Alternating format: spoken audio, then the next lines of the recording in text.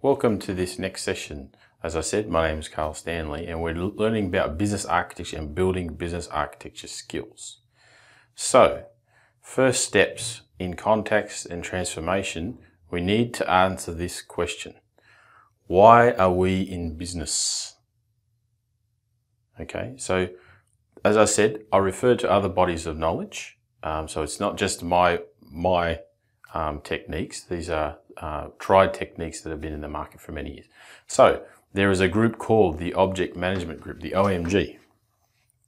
OMG, right? And they have a technique, or the hard skill that you learn, it's called the Business Motivation Model. And it's affectionately called the BMM. Okay. Now, cause and effect. Okay, means and ends. So if I cause, um, I stub my, I stub my toe, the effect is pain. All right. So do I want to stub my toe? No. So I try and avoid that. Right. So simple illustration, cause and effect. Okay. Um, whatever goes up must come down. Okay. So this is how you read a business motivation model. Right. So we start with the business mission. Right. That leads to an effect which is the business vision. Mission vision. Okay. And then they break down into strategies, right? Strategies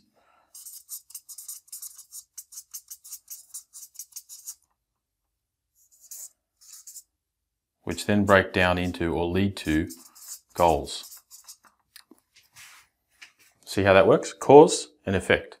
And we're breaking them down conceptually, logically, and then physically. So you might have seen me break those levels down in the past um, in one of my other courses. Um, so mission, vision, strategy, goals, tactics, and objectives. Right? Measurable targets you can get to, so objectives. You've heard of the, the acronym SMART before, specific, measurable, achievable, realistic, time targeted, SMART objectives. Okay. So as we conceptually break down from what our mission is to what strategies we're going to pull and then what projects or what tactics we're going to use to get to those objectives, that's your business motivation model. Now let's illustrate that with um, my business. Okay. So I've gone through this a few, a few different times. But basically, my mission is, and we should always be able to put this one tagline in to wherever we're going. So my mission is to supply or give um, enterprise architecture, business architecture um, insights, hands-on insights to aspiring professionals. Okay, so that's my mission. So this is what I'm trying to, um, so hands-on, let's just say hands-on EA slash BA Insights. That's my mission. That's what I'm trying to give to, to people. So therefore, what's my target state? What's my vision? All right. So my vision is to be the instructor of choice showing EA and BA insights for aspiring professionals. All right, so you hear what I'm saying? Cause, effect. Current state, future state. So when we're doing enterprise, oops, sorry, enterprise architecture, we're doing current state and future state. Sorry, I got a little bit excited there, stamped on the ground. So strategies. So if that's my mission, what are my strategies? Well, if I'm supplying EA insights, I have to partner with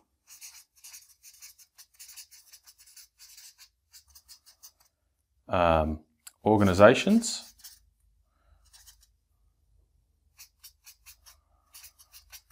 that target EAs, BAs. So I've got a partnering strategy. All right.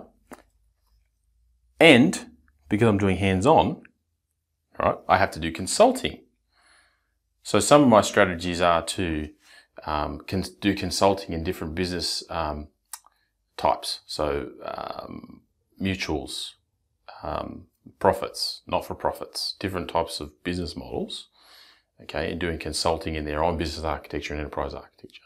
Also, if my target is um, solution architects, picking up a, a solution architecture um, a framework and learning that, and then and then implementing that framework into um, certain companies. So those are my strategies. My goals are okay. So how do I know I got there to those strategies? Well, I have partner agreements.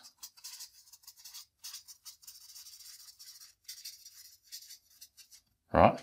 I implement said um, uh, certifications. So I learned TOGAF, Archimate, um, IT for IT, um, all these different uh, frameworks to get me to my goal, to be the instructor of choice. So I have to take in knowledge, right? So those are my goals. Right, so they're still logical. So this is con concept. They're still logical or groupings of tasks, things that I need to do to get to my goals, right?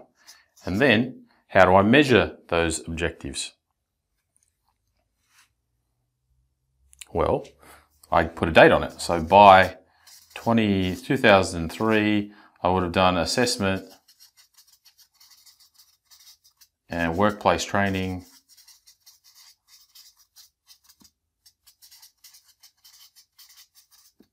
for small groups.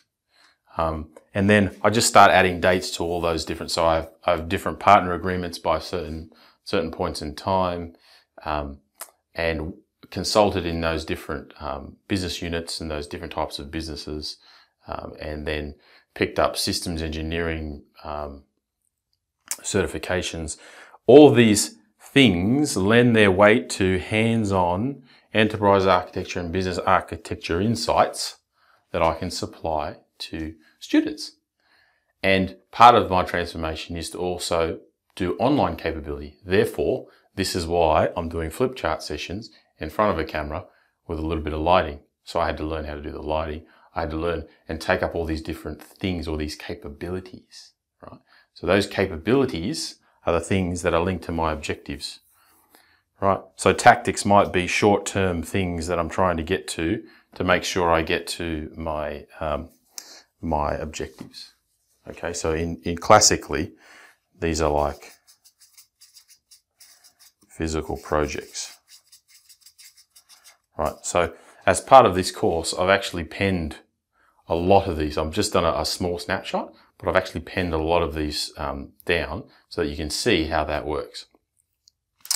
So, conceptually, logically, physically, we know why we are in business. Now we have to hope, right, that we're building the capabilities linked to different objectives that people are going to want, right? So, um, and that, that people will pay for, obviously, and that, that, that you're going to help. So part of your mission is you're going to help. So we go to another technique, right? And that's what's in the next section, and we'll discuss that um, knowing your customer, which is the value proposition canvas. Okay, so let's stop there and then we'll go into the next one.